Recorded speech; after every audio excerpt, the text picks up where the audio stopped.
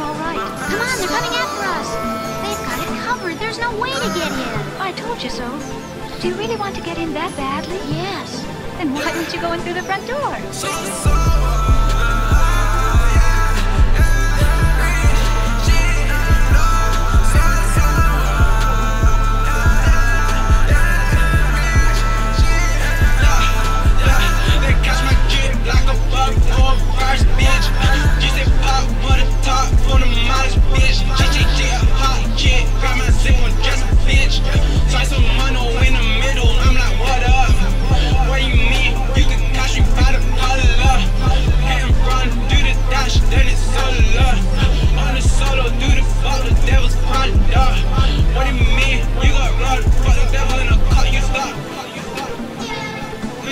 my brother.